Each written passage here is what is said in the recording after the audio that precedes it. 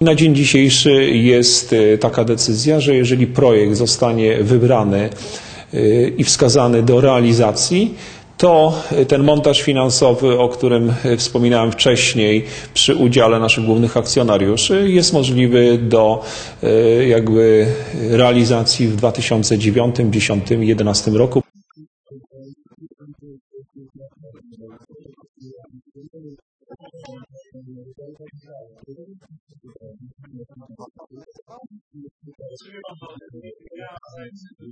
Uzyskanie pozwolenia na budowę pozwoliłoby nam do końca tego roku y, na podpisanie umowy o realizację z władzami y, województwa pomorskiego.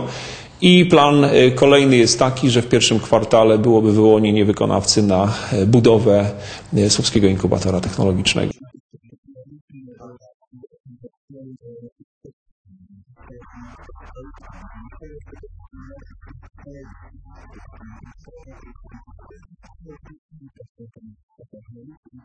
you.